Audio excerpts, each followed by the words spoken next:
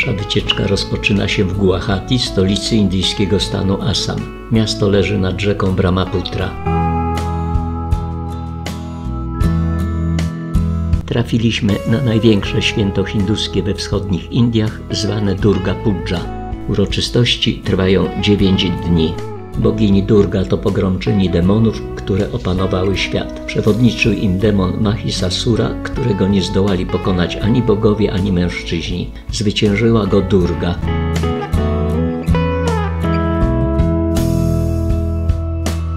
Z okazji święta w specjalnych pawilonach świątyniach zwanych pandal wystawia się wizerunki bogini. Durga przedstawiana jest jako kobieta o ośmiu lub dziesięciu ramionach, z których każde dzierży broń do walki z demonami, m.in. trójząb, miecz, dysk. W ostatni dzień uroczystości ku czci Durgi jej wizerunek zostanie przeniesiony na brzeg rzeki i wrzucony do wody.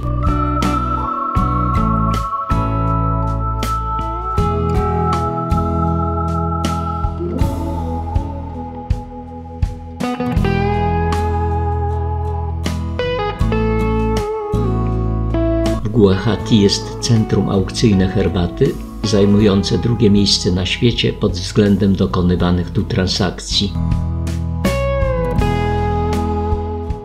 Udajemy się do świątyni Kamakia, która jest ważnym miejscem pielgrzymek wyznawców hinduizmu. Bogini Kamakia jest identyfikowana z boginią śmierci Kali i jest blisko związana z boginią Durga. Świątynia została wzniesiona na przełomie X i XI wieku, a następnie przebudowana w wieku XVI. Dziś jest dzień, w którym w trakcie obchodów święta Durga Puja składane są w tej świątyni ofiary ze zwierząt. Na ofiarę przeznaczane jest ptactwo, kozy, a nawet samce bawołów. Tu wyznawcy hinduizmu oddają cześć Ganeszy, bogowi mądrości i nauki, a także bogactwa i dobrobytu.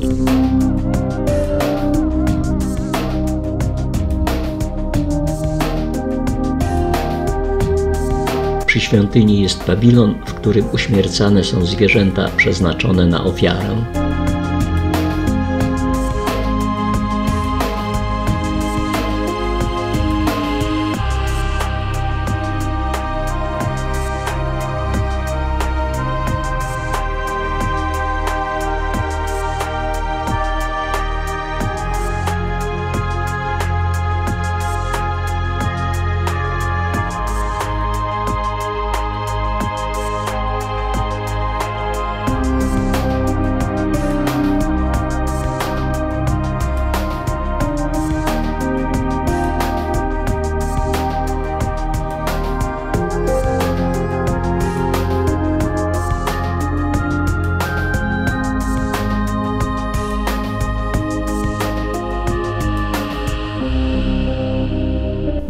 Cierpliwie stoją za kratami w długiej, wielogodzinnej kolejce, by dostać się do miejsca, w którym jest zagłębienie w skale w kształcie sromu, czczone jako sama bogini Kamakia i uważane za jej siedzibę.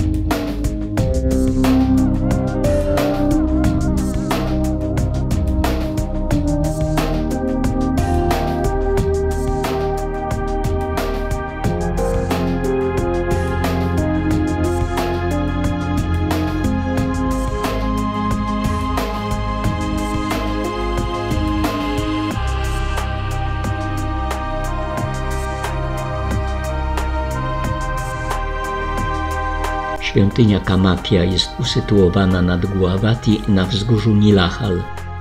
Po dodatkowej atrakcji, którą był pobyt w Guwahati, jedziemy w kierunku granicy z Butanem.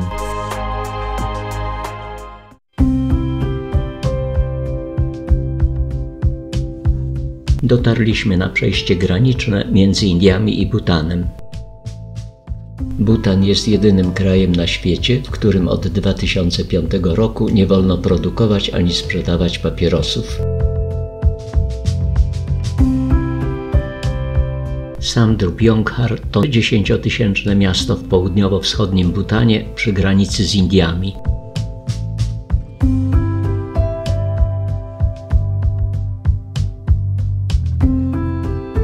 Młynek modlitewny stosowany w buddyzmie tybetańskim to walec osadzony na obrotowej osi z wypisanymi na powierzchni mantrami. Mieszkańcy utrzymują się głównie z wymiany handlowej z sąsiadującym hinduskim stanem Assam.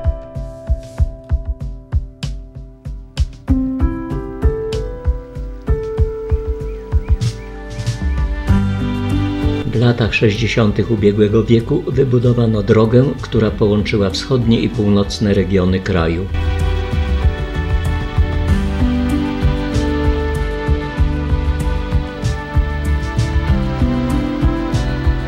Jedziemy tą drogą do Trashigang, kolejnego miasta na naszej trasie. Droga jest wycięta w zboczu góry, wąska, a jej nawierzchnia pozostawia wiele do życzenia. Minięcie się z nadjeżdżającym pojazdem, szczególnie gdy jest to duża ciężarówka, nie jest prostym manewrem i jest możliwe tylko w niektórych miejscach. Jedziemy przez Butan ze wschodu na zachód, tak zwanym niebiańskim traktem 100 tysięcy zakrętów. Ma on 600 km, a jego przejechanie zajmuje 3 dni. Trakt został zbudowany pod nadzorem wojska indyjskiego, które odpowiada za jego utrzymanie.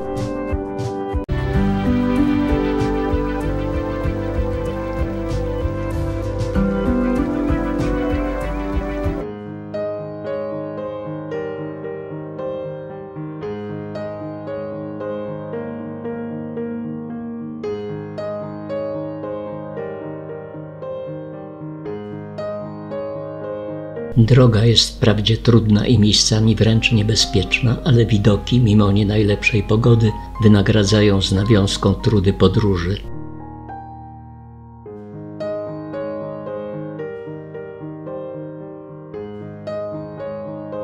Butan leży w Azji, we wschodnich Himalajach. Graniczy z Chinami i Indiami, ma powierzchnię 38 394 km2 i liczy około 800 tysięcy mieszkańców.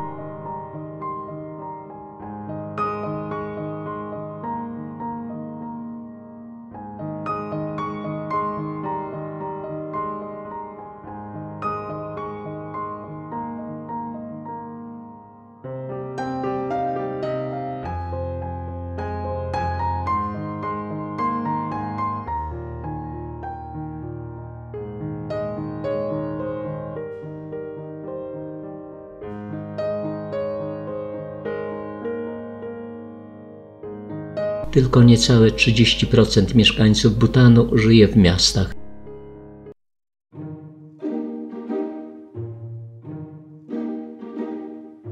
Więcej niż połowa terytorium kraju leży na wysokości powyżej 3000 metrów nad poziomem morza.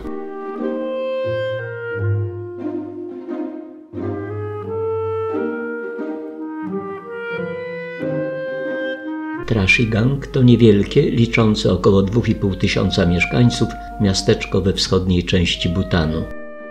Główny plac otaczają budynki charakterystyczne dla architektury butańskiej. Na środku placu stoi duży młyn modlitewny.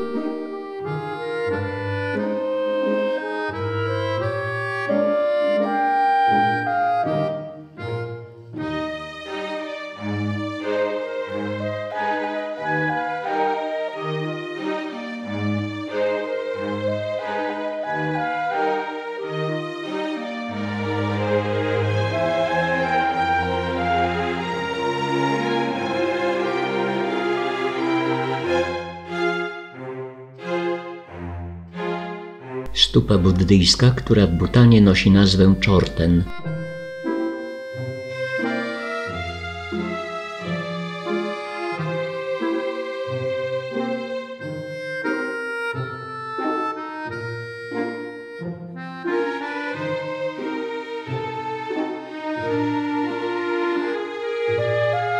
Główna ulica miasta, którą idziemy w kierunku Dzongu.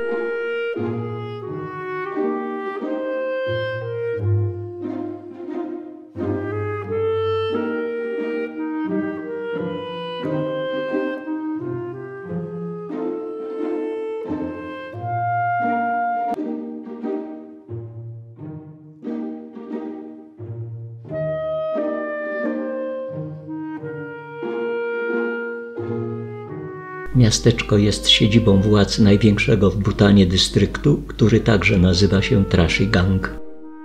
Butan jest podzielony na 20 dystryktów.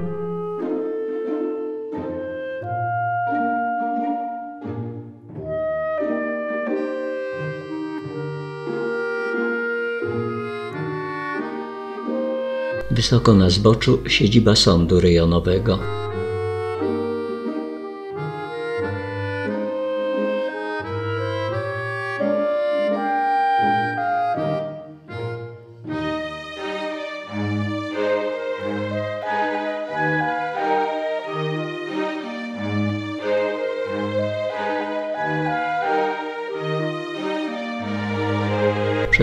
Brama wejściowa prowadząca do dzongu.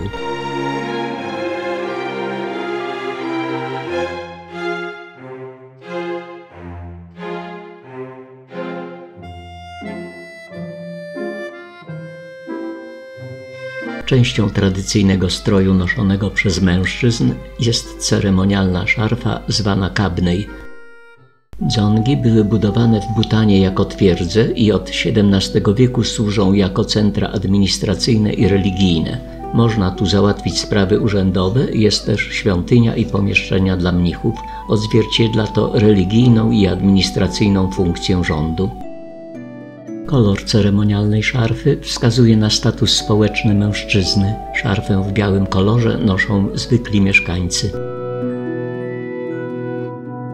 Jesteśmy w Dzongu na jego dziedzińcu.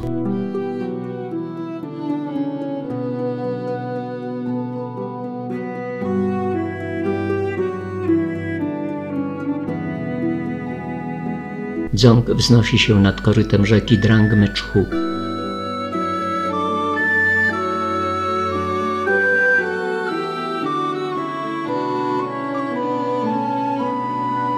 Portret rodziny królewskiej.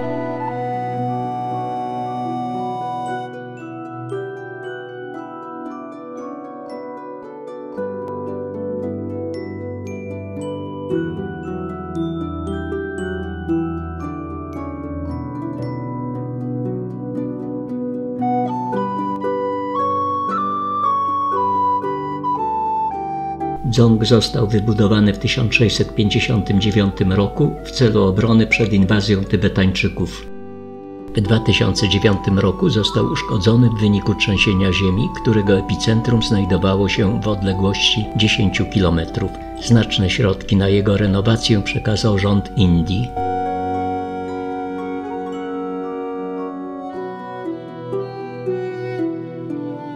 Opuściliśmy już Trashigang, a stąd mamy okazję zobaczyć, jak usytuowany jest dzong, który odwiedziliśmy.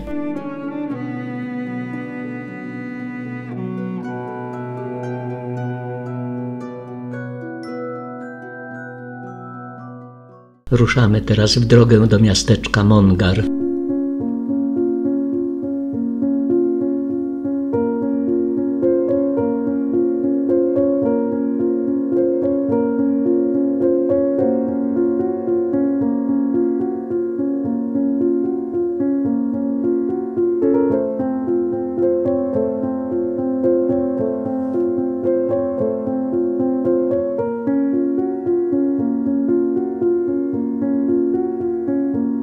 Postój przy niewielkim klasztorze buddyjskim. Wyznawcy buddyzmu stanowią ponad 70% mieszkańców Butanu.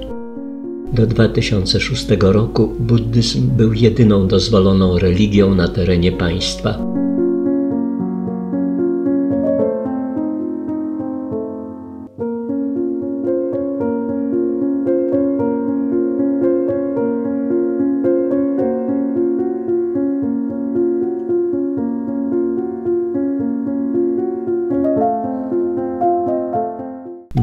Krętą drogą dotarliśmy do przełęczy Korila na wysokości 2406 metrów. Jej szczyt jest gęsto udekorowany flagami modlitewnymi. Stupy buddyjskie w Butanie najczęściej mają taki kształt. Na przełęczy jest budynek, w którym można się napić herbaty lub kawy i zapalić maślaną lampkę.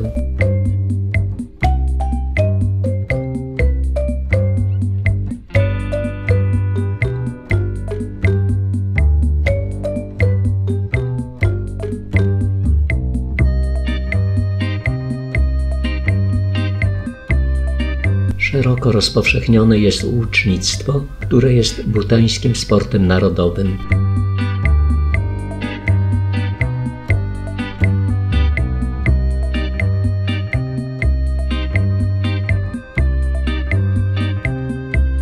Mongar to miasteczko liczące 3,5 tysiąca mieszkańców, leżące na wysokości 1600 metrów.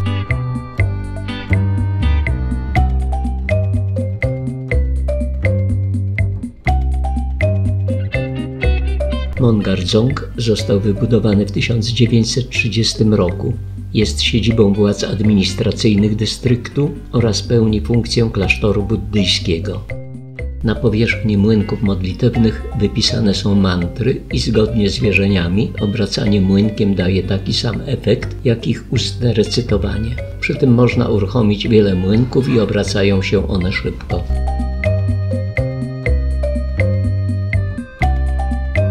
Wejście do świątyni, która mieści się w centralnej wieży. Sala modlitewna.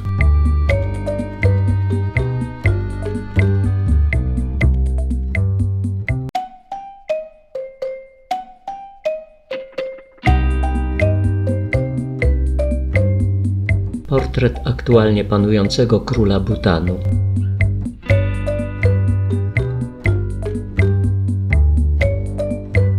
Tutaj jest wykonywany wystrój nowej sali modlitewnej.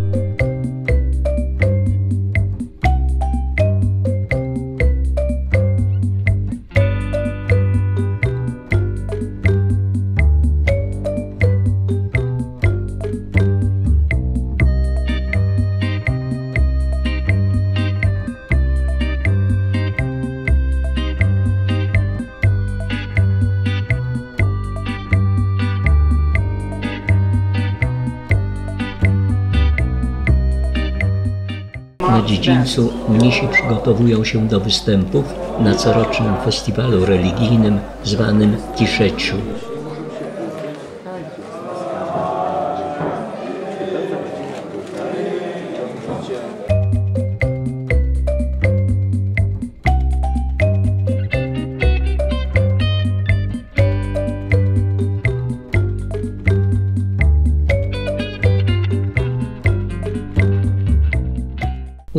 Się teraz z Mongaru do doliny Bumtang. Zatrzymujemy się na chwilę, by rzucić okiem na konopie indyjskie rosnące w wielu miejscach tuż przy drodze. Po drodze mamy piękne widoki, ale niestety pada ulewny deszcz.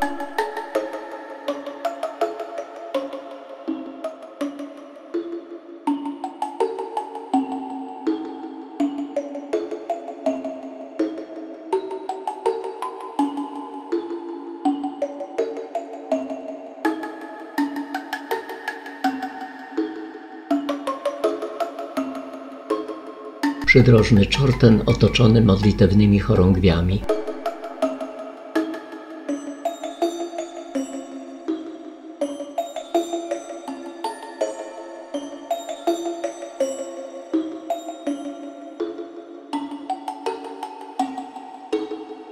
Lasy pokrywają 67% terytorium Butanu.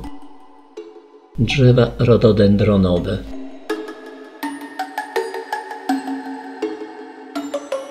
Jesteśmy na przełęczy Trumszynkla, leżącej na wysokości 3780 metrów.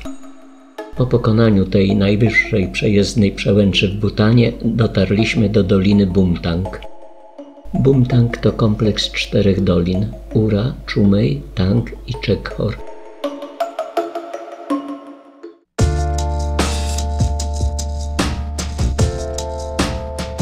Chekhor. Nebartsho jest jednym z najświętszych miejsc w regionie.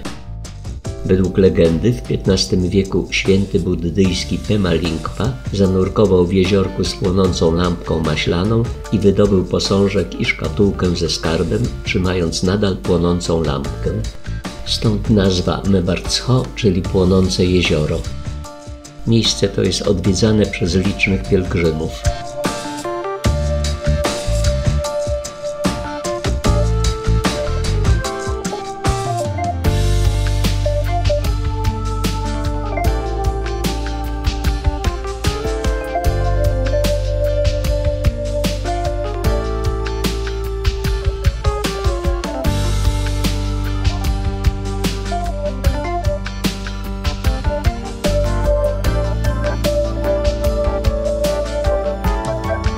Krótki postój w 6,5 tysięcznym mieście Jakar, które jest stolicą dystryktu Bumtang. Nad miastem wznosi się Jakar Dzong.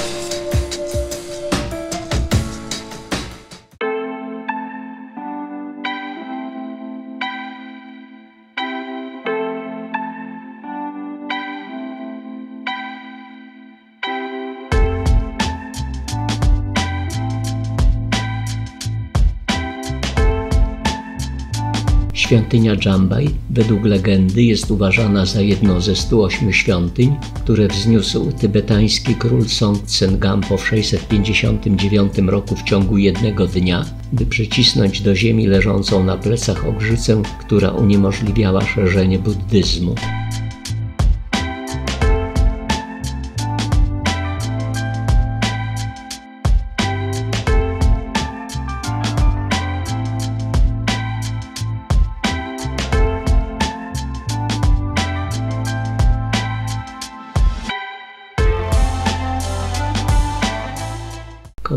Świątynny Kurdżej obejmuje trzy świątynie. Najstarsza z nich została wybudowana w 1652 roku. Dwie pozostałe wybudowano w XX wieku.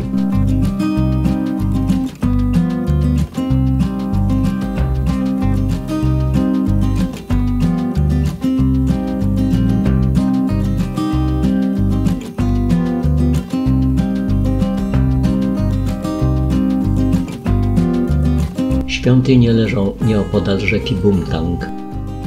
Przekroczymy rzekę po wiszącym moście, by wzdłuż niej dojść do świątyni Tamshing.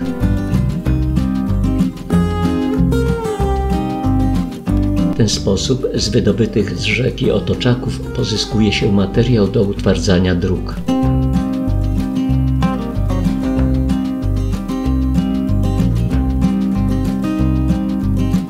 Klasztor i świątynię Tamshing wybudował w 1501 roku Pema Lingpa, ten sam, który nurkował w płonącym jeziorze. Klasztor jest domem dla około 100 mnichów. Klasztor nie jest wspierany przez rząd, z wielkim trudem radzi sobie z utrzymaniem mnichów i powoli niszczeje.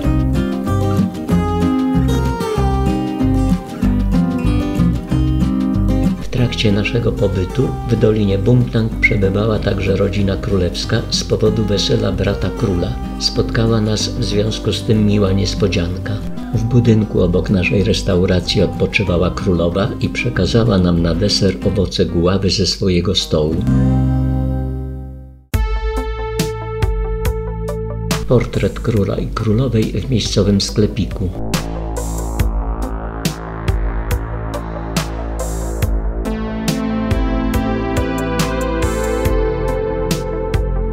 Jesteśmy w Jakardzong, który jest siedzibą zarówno władz duchownych, jak i siedzibą władz administracyjnych dystryktu Bumtang. Nazwa Jakar nawiązuje do słowa oznaczającego białego ptaka, zgodnie bowiem z mitem założycielskim gniazdujący na wzgórzu biały ptak wskazał właściwe miejsce założenia klasztoru w 1549 roku. Jakar Dzong jest prawdopodobnie największym dzongiem pod względem obwodu, który wynosi 1500 metrów. Dzong, zwany też Zamkiem Białego Ptaka, był siedzibą pierwszego króla Butanu.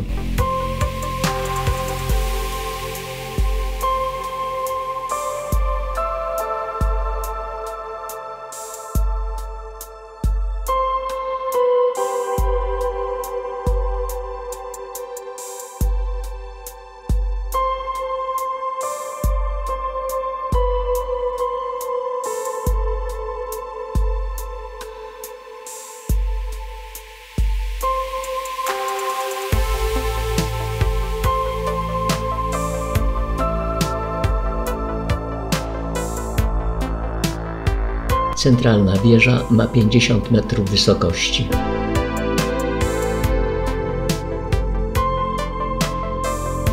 W wieży składowane są innymi stroje używane przez mnichów podczas corocznego festiwalu religijnego.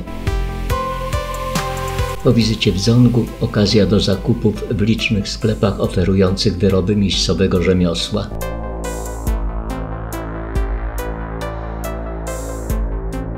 Skóra z jaka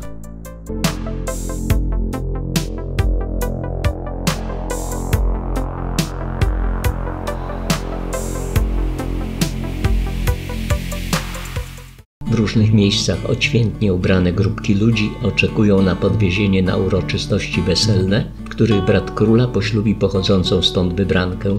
W Butanie jest zwyczaj, że zaślubiny odbywają się tam, skąd pochodzi panna młoda. Niektórzy zmierzają pieszo na miejsce uroczystości. W oddali pod wzgórzem widać dom Kardzong i rozstawione namioty, w których odbywa się przyjęcie. Zdjęcie rodziny królewskiej z uroczystości weselnych opublikowane następnego dnia. Opuszczamy już dolinę Bumtang i przez przełęcz Yutong leżącą na wysokości 3425 metrów jedziemy do miasteczka Trongsa. Podobnie jak na poprzednich przełęczach jest tu ogromna ilość flag modlitewnych.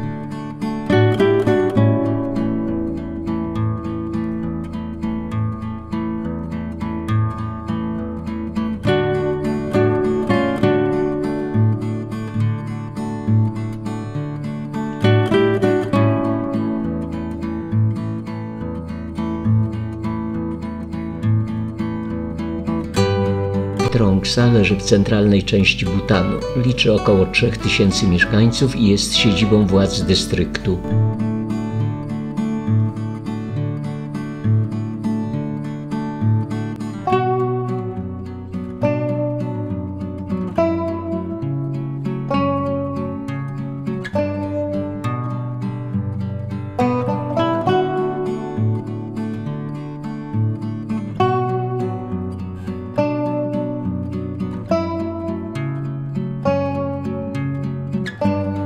Dzong Trongsa jest największą tego typu twierdzą w Butanie.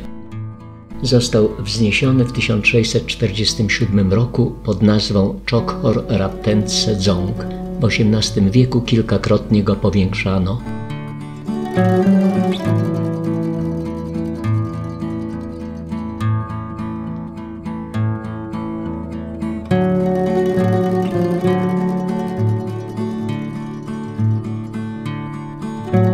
Wewnętrzny dziedziniec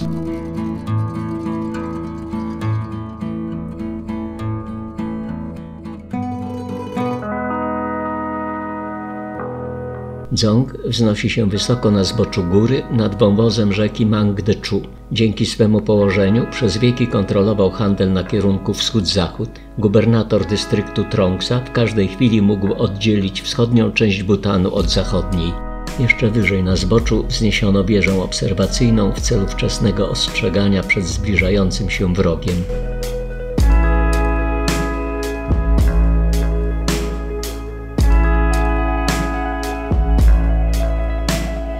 Dzong został poważnie uszkodzony przez trzęsienie ziemi w 1897 roku. Przeszedł gruntowny remont i został odrestaurowany 30 lat później.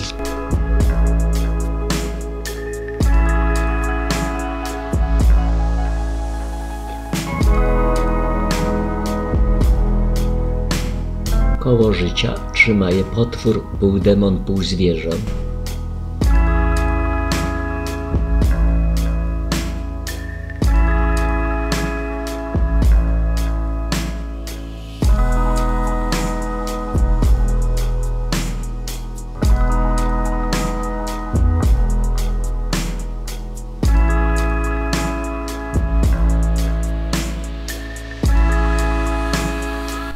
Widok na Trongsa Dzong i miasteczko.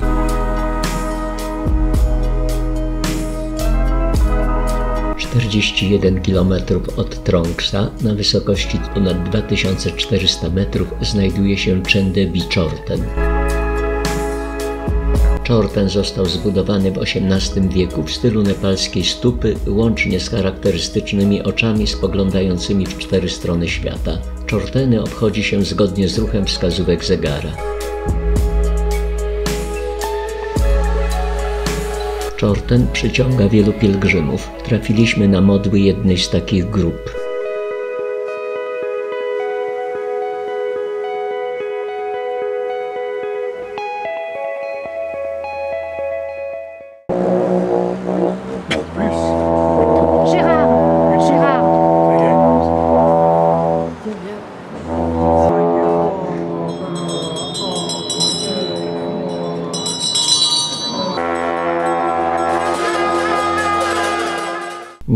Spotykamy jaki. Udomowione jaki są zwierzętami jucznymi, poza tym są źródłem pożywienia dając mleko i mięso.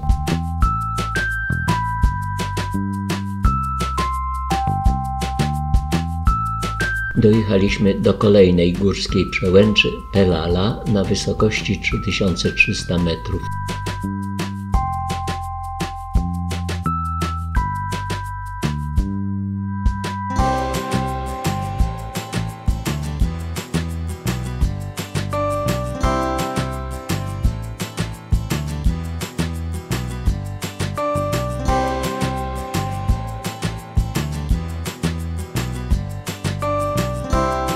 Przy dobrej pogodzie widać stąd najwyższe pasma górskie w Butanie, wznoszące się na ponad 7000 metrów.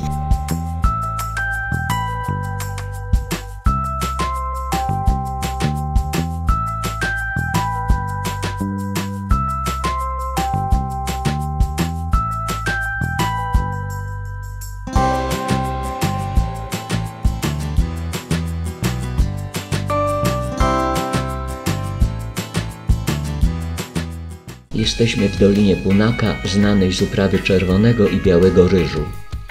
Powierzchnia gruntów rolnych w Butanie jest bardzo ograniczona. Łąki i pastwiska stanowią 6%, a grunty orne 2%. Dlatego obszary rolne w tym górzystym kraju są bardzo cenione i intensywnie zagospodarowywane. Jest październik i pora zbioru ryżu.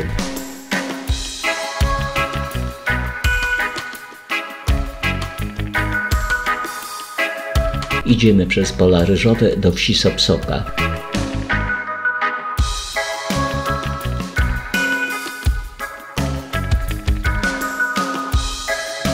Mamy tu okazję odwiedzić butańską rodzinę.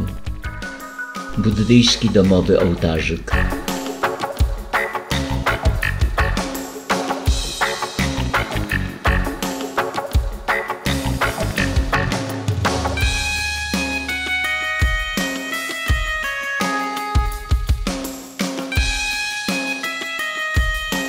Gospodyni częstuje nas herbatą z mlekiem.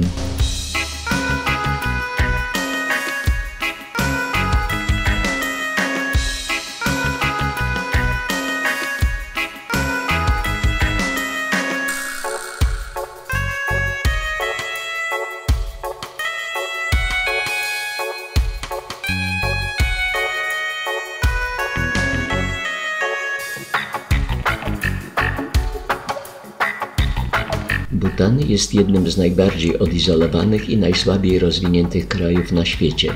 Pierwsi turyści pojawili się tutaj w 1974 roku. Pierwszy samochód dotarł do Bhutanu w 1963 roku, pierwszy samolot wystartował w 1983 roku, a pierwszy helikopter pojawił się w 2016 roku. Telewizję i internet wprowadzono dopiero w 1999 roku.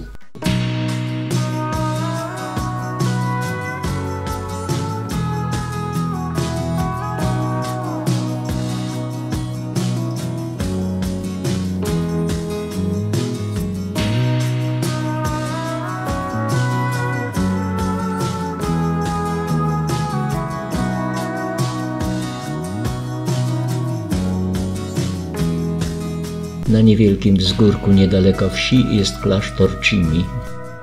Klasztor został wybudowany w 1499 roku i zwany jest też klasztorem szalonego mnicha.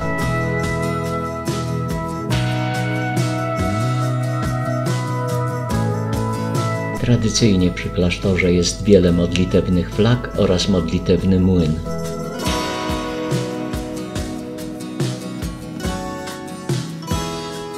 Klasztorze jest przechowywany 25-calowy drewniany symbol Fallusa, który lama Kunlej przyniósł z Tybetu. W klasztorach młodzi ludzie uczą się czytać święte księgi buddyjskie, a także poznają sztukę malowania, złotniczą, uczą się tańców narodowych i języka angielskiego. Praktycznie każda rodzina wysyła do klasztoru przynajmniej jednego syna w wieku 6 lat. Nauka trwa 10 lat.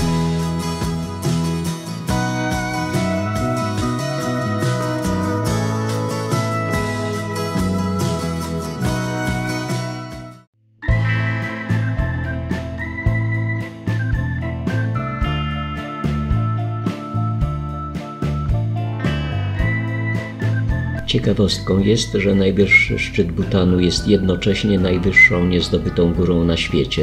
Góra ta bowiem jest uważana za świętą i nie wolno się na nią wspinać.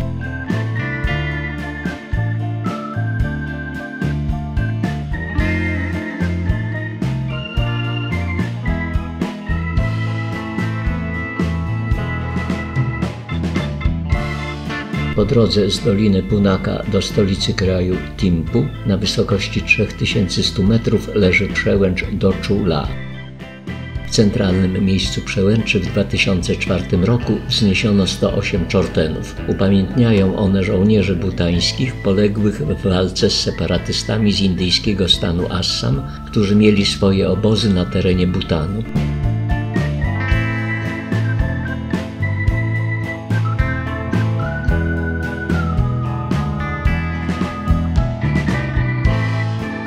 Król osobiście dowodził wojnie z separatystami asamskimi, a czorteny wzniesiono z inicjatywy królowej matki.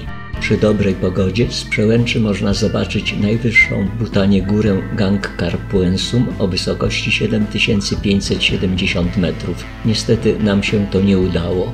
W 2008 roku na zboczu dobudowano buddyjską świątynię.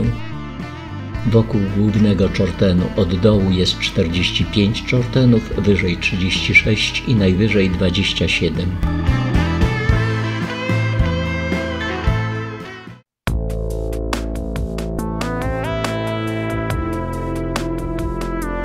Simtokadzong leży nad doliną Timpu. Oficjalnie nazywa się Pałac Dogłębnego Znaczenia Tajemnych Mantr. Został wybudowany w 1629 roku i jest najstarszym w Butanie w pełni zachowanym klasztorem buddyjskim. Jest tu Instytut Studiów o Języku i Kulturze kształcący mnichów i świeckich.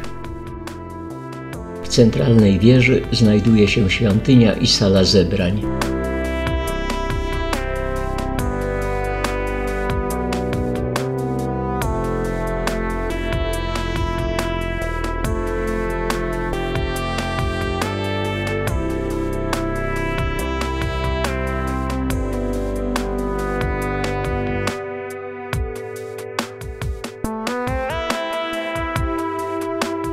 Freski na ścianach świątyni są uważane za najstarsze i najpiękniejsze w Butanie.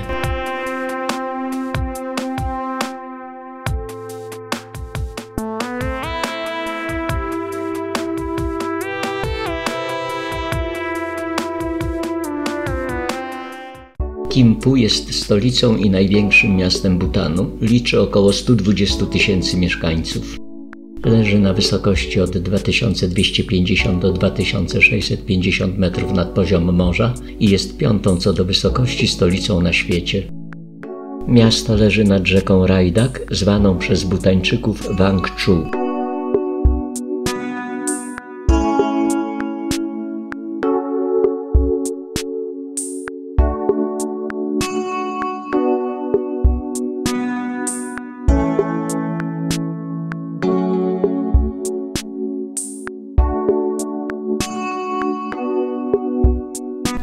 Miejskim bazarze sprzedający oferują szeroki wybór warzyw i owoców.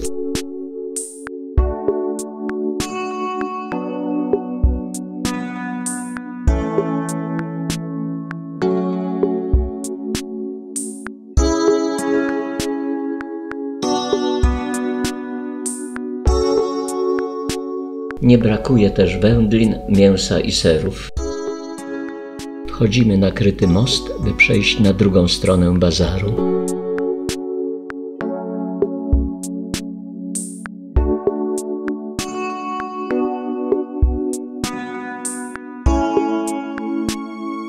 Tutaj z kolei jest ogromny wybór turystycznych suwenirów.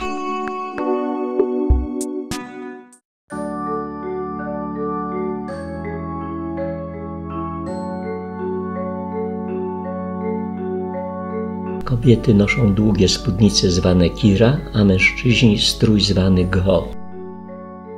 Stupa pamięci, zwana też Timpu Chorten, została zbudowana w 1974 roku dla uhonorowania trzeciego króla Butanu, który zmarł w 1972 roku.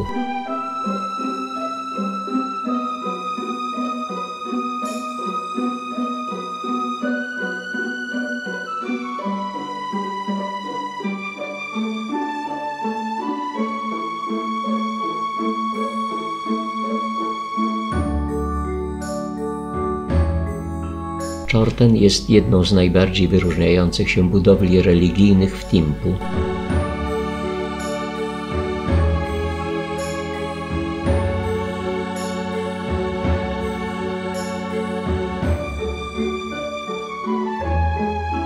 Tutaj panie czyszczą lampki maślane, które są zapalane w miejscach kultu religijnego.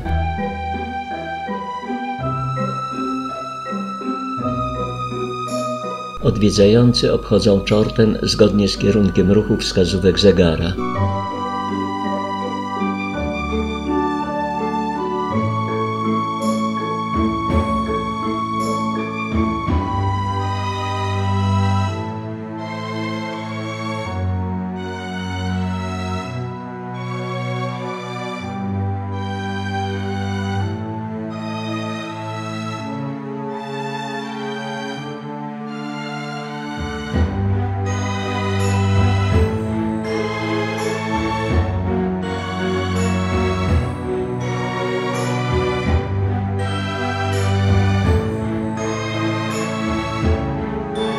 Odwiedziliśmy też Centrum Rękodzieła i galerię z obrazami współczesnych butańskich artystów.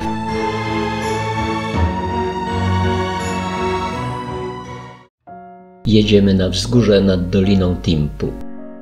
Jest tu jeden z największych na świecie posąg siedzącego Buddy. Posąg jest wykonany z pozłacanego brązu i ma 51,5 metra wysokości. Budda siedzi na lotosie, przed nim leży Dorje, a w ręku trzyma czarę błogosławieństw. Pomnik wzniesiono na wzgórzu nad Timpu w parku natury Kinsel Podrang. Roztacza się stąd rozległy widok na stolicę Butanu.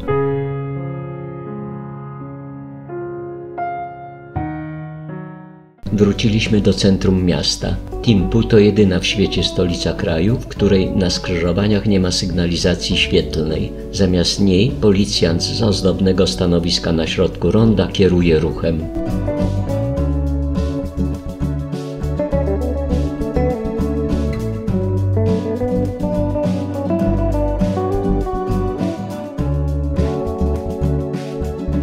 Jednym z przedmieść stolicy utworzono schronisko dla takinów. Takin został uznany za narodowe zwierzę Butanu w 2005 roku. W naturze takiny żyją we wschodnich partiach Himalajów.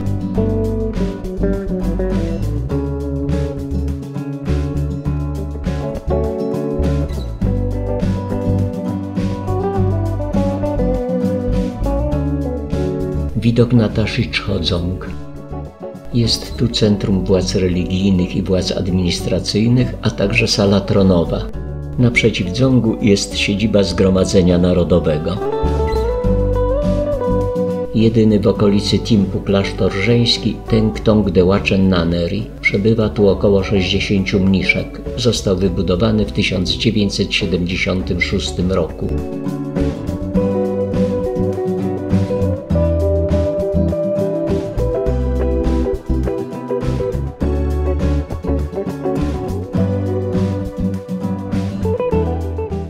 Jesteśmy teraz przy oglądanym wcześniej z góry Tashichozong, co znaczy twierdza chwalebnej religii. Nieopodal stoi budynek dwuizbowego parlamentu Butanu.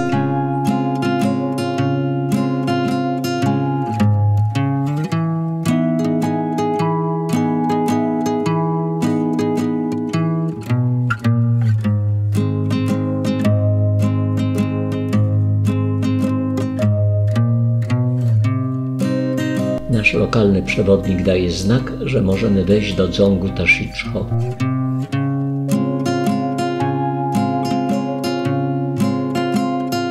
Dzong istniał w tym miejscu już w 1216 roku. Większość ówczesnej zabudowy spłonęła w 1772 roku. Od 1968 roku Dzong jest siedzibą urzędów królewskich i niektórych instytucji rządowych. Obecnie mieści się tu kancelaria premiera, Ministerstwo Spraw Wewnętrznych i Ministerstwo Finansów.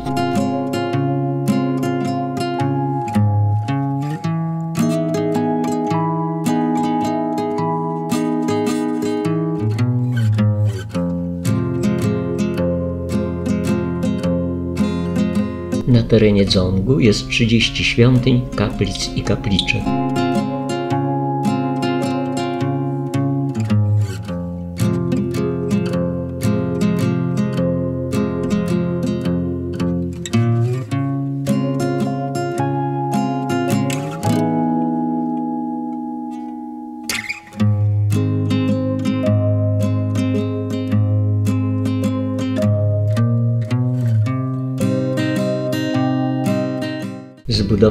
XVI wieku klasztorze Pangrizampa znajduje się najważniejsza szkoła tradycyjnej astrologii. Głównemu astrologowi z tego klasztoru powierzono m.in. ustalenie pomyślnej daty koronacji króla w 2008 roku.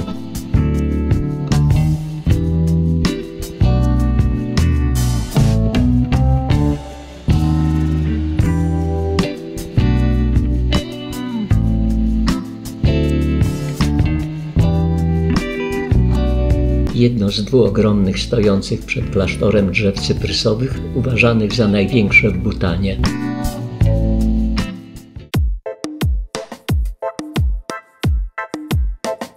Nasz pobyt w Butanie zbliża się ku końcowi. Wybieramy się do Tygrysiego Gniazda, czyli klasztoru Taktsang. Dojście trwa około 3 godzin, a część drogi można pokonać na grzbiecie muła. My pójdziemy na własnych nogach. Klasztor wzniesiono na wysokości 3120 metrów nad poziom morza. Cel naszej wyprawy znajduje się w górze po prawej stronie.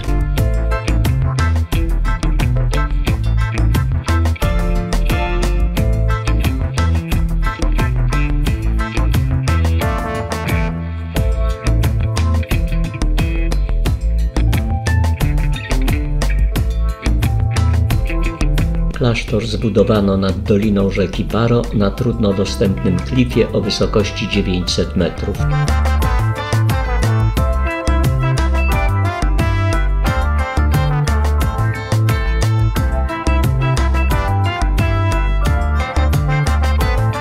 Stąd już wszyscy chcący dotrzeć do klasztoru muszą iść pieszo.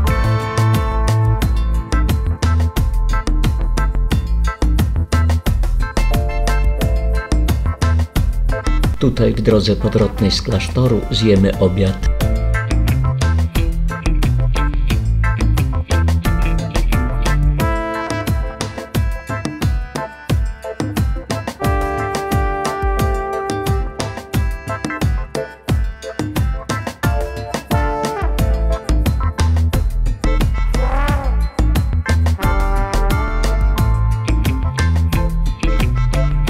Wspięciu się w górę trzeba zejść schodami w dół, by ponownie wspiąć się do klasztoru leżącego na przeciwległym zboczu.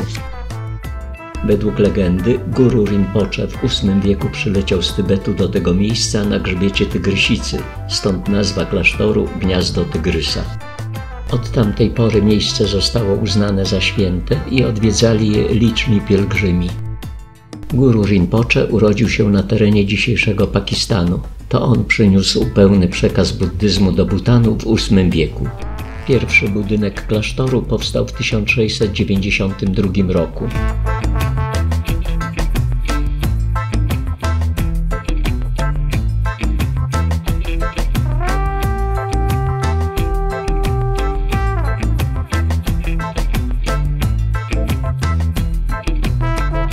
To już ostatni odcinek podejścia do klasztoru. Pożar uszkodził klasztor w 1951 i 1998 roku. Po zakończeniu rekonstrukcji w 2005 roku udostępniono klasztor również turystom.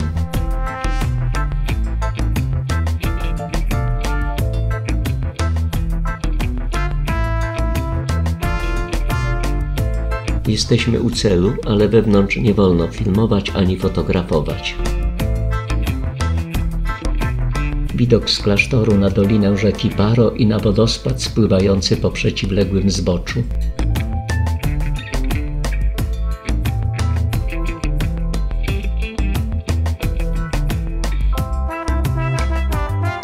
W drodze powrotnej zatrzymujemy się na chwilę przy młynie modlitewnym.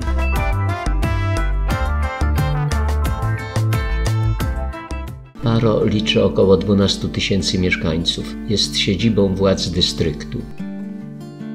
Miasto leży nad rzeką o tej samej nazwie.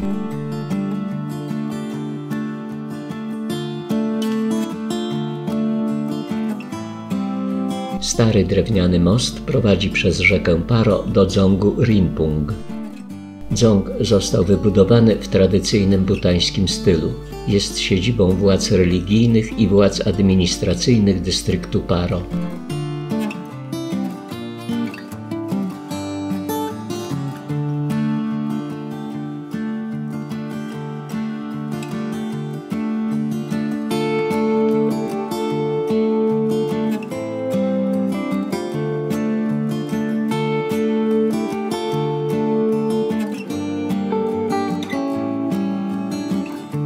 Budynki są bogato dekorowane drewnianymi rzeźbami przedstawiającymi tradycyjne motywy butańskie.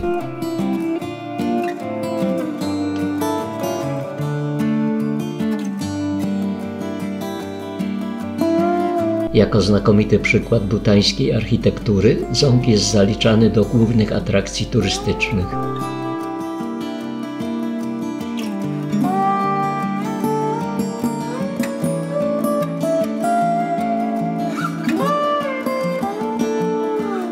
Bernardo Bertolucci nakręcił tu wiele scen do filmu Mały Buddha.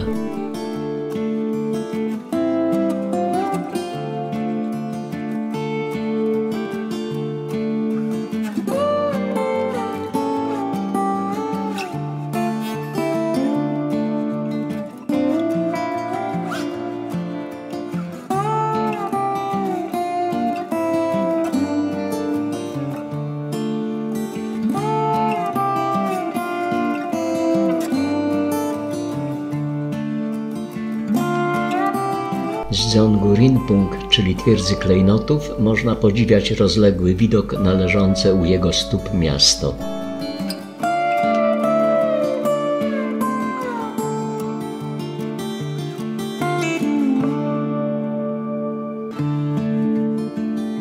Tu widać w jaki sposób i z jakich materiałów zbudowano mury twierdzy. W XVII i XVIII wieku Dzong był ważnym bastionem obrony przed inwazją z północy, głównie z Tybetu.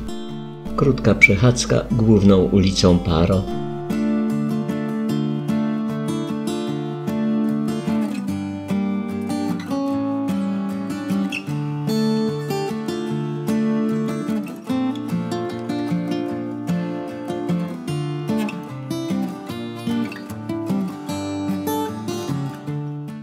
Pobyt w Butanie kończą występy folklorystyczne.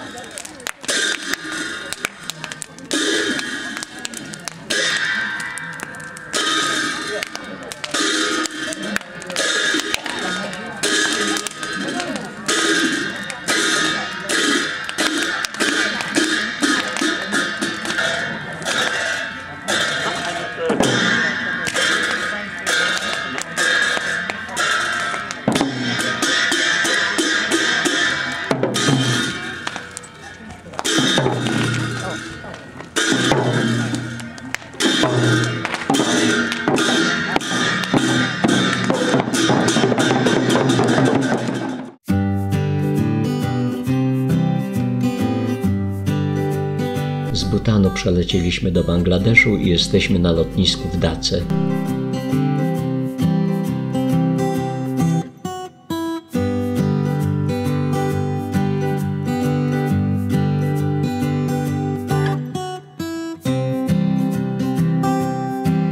Jest stolicą Bangladeszu. Stołeczną aglomerację zamieszkuje ponad 21 milionów ludzi, z tego 9 milionów w administracyjnych granicach miasta.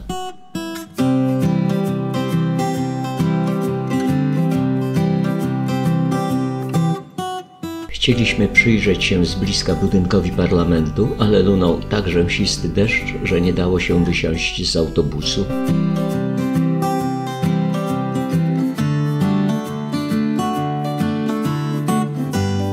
Przyjechaliśmy pod hinduistyczną świątynię Dakeshwari, ale deszcz niestety nie ustępuje. Ta najstarsza świątynia z XII wieku poświęcona jest dziesięcioramiennej bogini Dakeshwari, od której prawdopodobnie Daka wzięła swoją nazwę.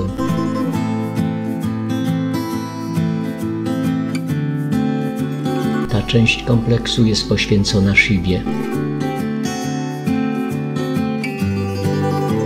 To główna świątynia poświęcona bogini. W 1996 roku kompleksowi nadano miano świątyni narodowej dla odzwierciedlenia jego roli jako centrum kultu hinduskiego. Historia Daki sięga tysięcznego roku. W XVII wieku była stolicą Bengalu. W 1956 roku została stolicą Pakistanu Wschodniego, a w 1971 roku stolicą niepodległego Bangladeszu. Riksze są jednym z głównych środków transportu. Każdego dnia na ulice miasta wyjeżdża ich około 400 tysięcy, co jest światowym rekordem. Gęstość zaludnienia w mieście wynosi ponad 29 tysięcy osób na kilometr kwadratowy.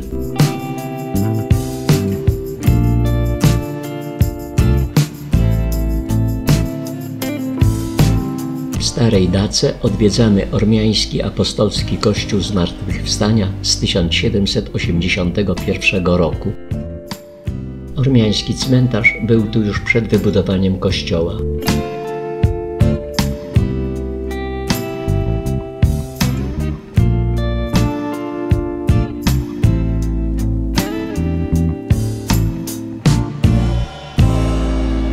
Kościół odwiedziła matka Teresa z Kalkuty podczas swojej wizyty w Dace w 1996 roku.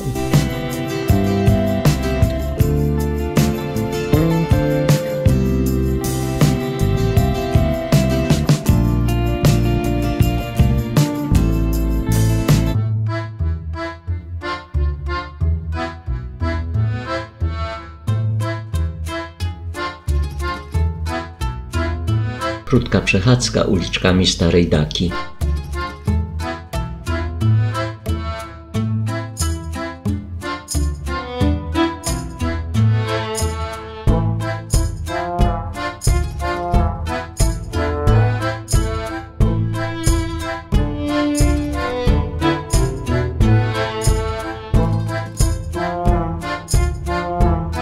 Poruszanie się po dace jest bardzo utrudnione. W zasadzie jedzie się w jednym wielkim korku.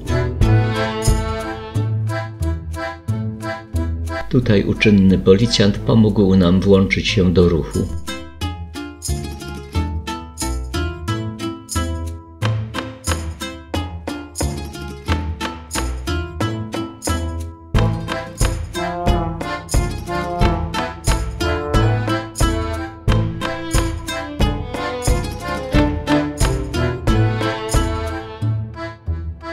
Odwiedzamy port Sadargat przy nabrzeżu rzeki Buriganga.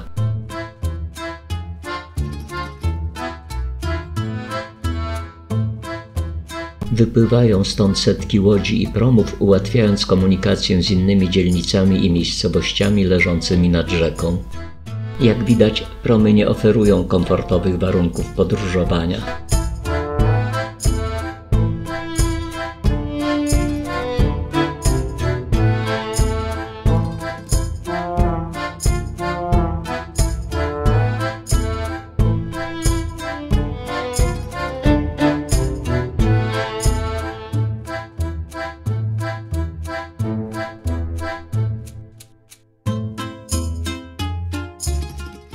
Jedziemy teraz do dzielnicy Demra, by stamtąd wypłynąć w dwugodzinny rejs po rzece Shitalakaya.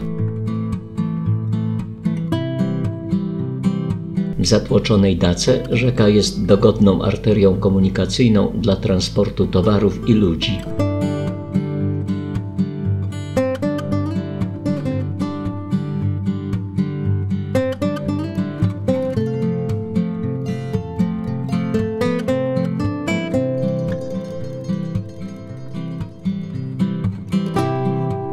Rzeką zlokalizowane są liczne stocznie remontowe.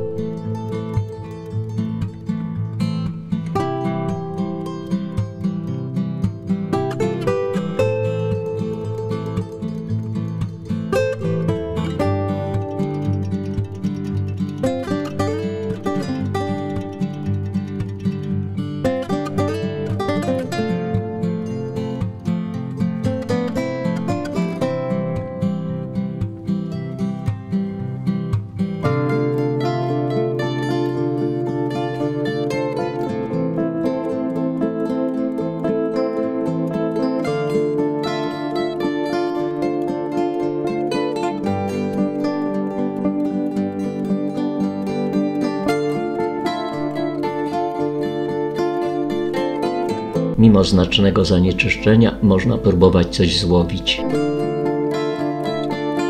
Nad rzeką zlokalizowano też wiele cegielni. Przyczyniają się one znacząco do zanieczyszczenia powietrza.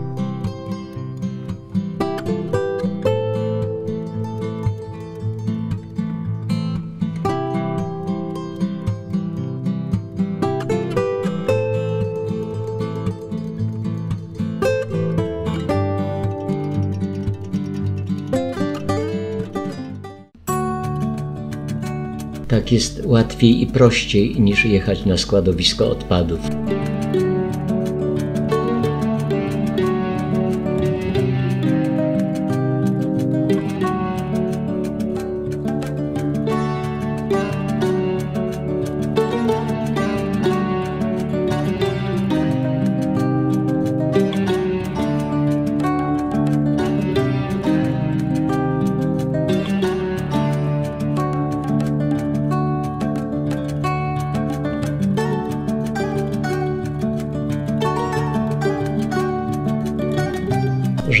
Pozwala na tani dowóz węgla do opalania pieców i wywóz gotowych cegieł.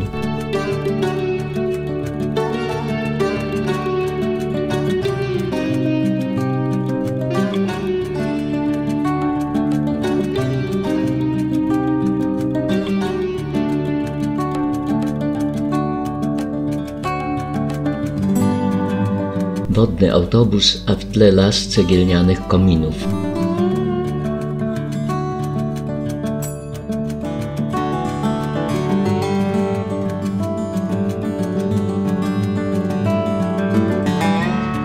Bangladesz ma 144 tysiące km2 i około 170 milionów mieszkańców. Gęstość zaludnienia znacznie przekracza 1100 osób na kilometr kwadratowy.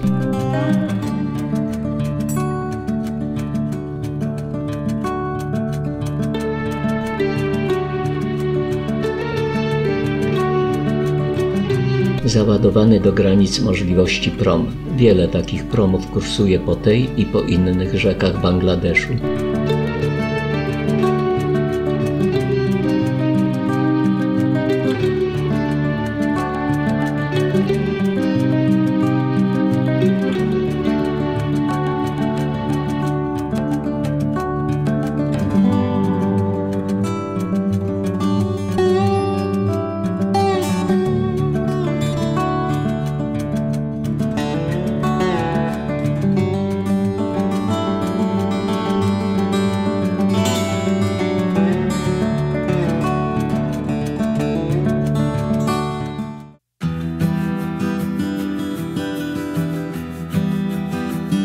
Jedziemy teraz do sąsiadującego z Daką dystryktu Narayanganj, by zobaczyć jeden z najstarszych zachowanych meczetów w Bangladeszu.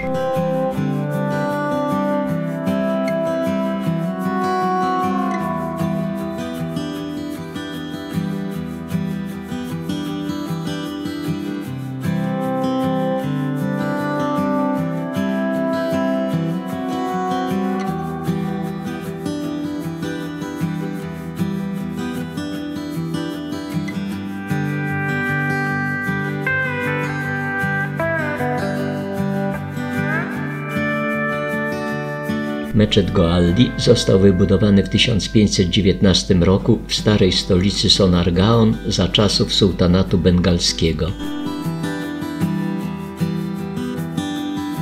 Można wejść do niego z trzech stron, zamknięta jest tylko ściana wskazująca kierunek Mekki.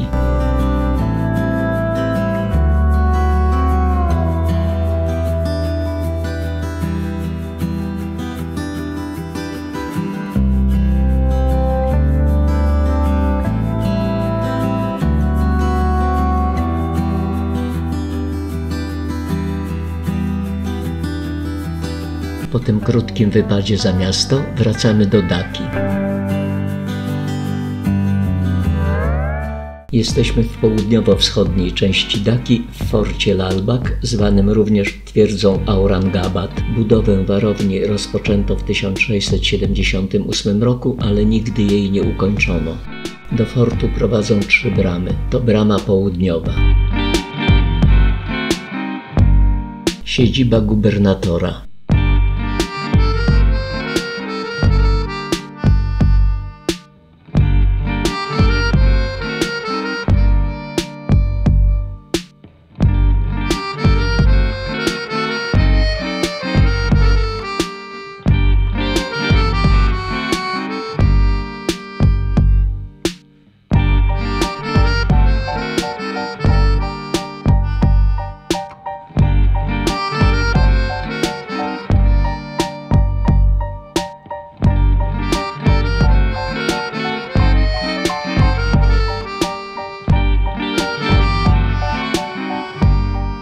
Centralnej części fortu jest mauzoleum Bibi Pari, ukochanej córki mogolskiego generała Shaisty Khana. Zostało ono wybudowane w 1688 roku.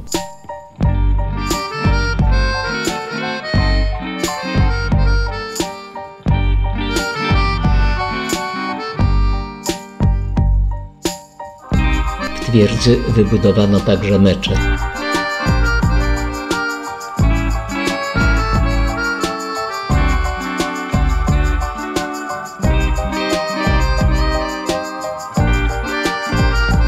Rzeźba antyterrorystyczna na kampusie uniwersyteckim. Muzeum Narodowe Bangladeszu niestety bez możliwości filmowania wewnątrz. Opuszczamy Dakę, by odwiedzić leżącą niedaleko historyczną stolicę Bengalu Sonargaon. Muzeum Rzemiosła i Sztuki Ludowej. Nie udało nam się go zwiedzić, gdyż było nieczynne. Pałac Izykana z XVI wieku. Prowadzono tu prace renowacyjne, obecnie pałac jest już odrestaurowany.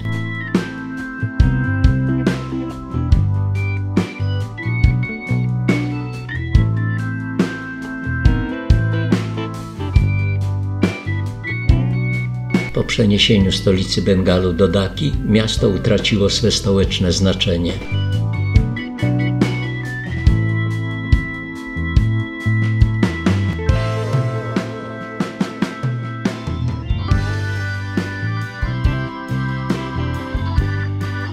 Rikszami jedziemy spod pałacu do dzielnicy zwanej Panam Nagar.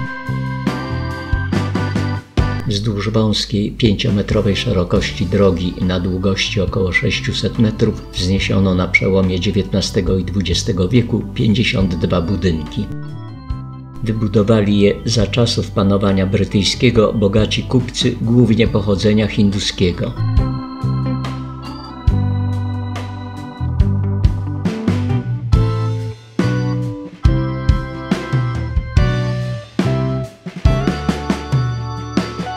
Podziale Bengalu w 1947 roku utworzono na tych terenach Pakistan Wschodni. Wówczas wielu właścicieli uciekło do Indii, pozostawiając swoje eleganckie domy pod opieką biednych najemców, którzy nie robili nic, aby je utrzymać.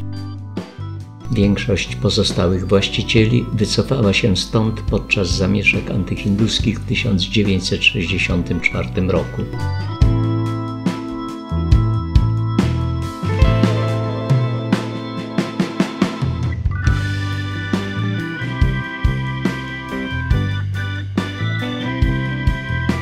Te niegdyś eleganckie domy toczą przegraną bitwę z roślinnością i wpływami atmosferycznymi.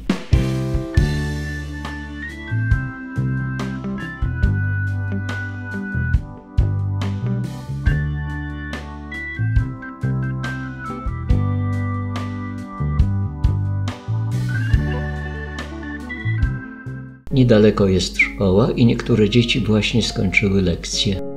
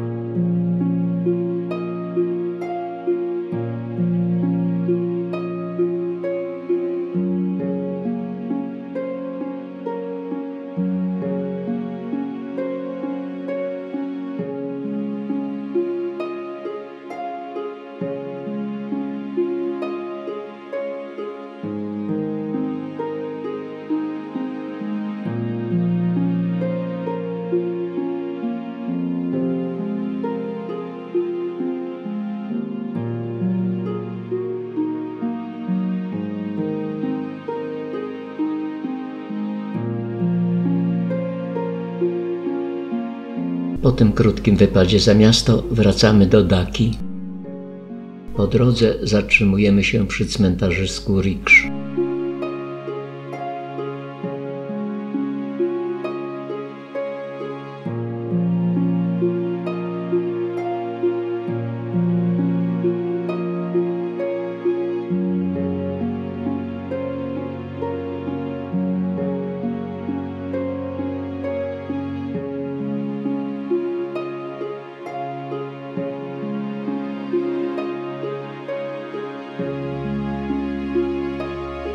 Islam wyznaje prawie 90% mieszkańców Bangladeszu.